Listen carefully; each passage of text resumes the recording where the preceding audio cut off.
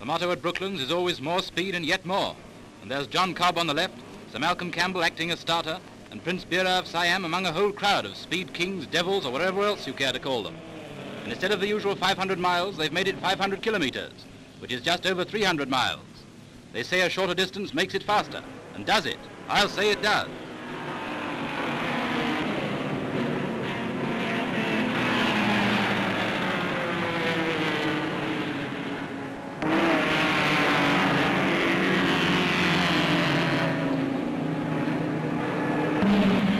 With the Brooklands system of handicapping, it doesn't always follow that the biggest car goes ahead.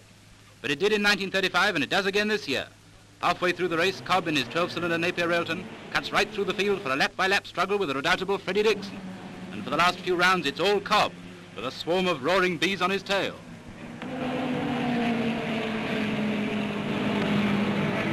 And John Cobb is the winner.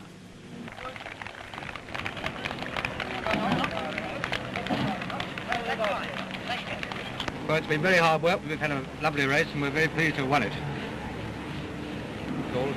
Let me congratulate you, John. Thanks very much.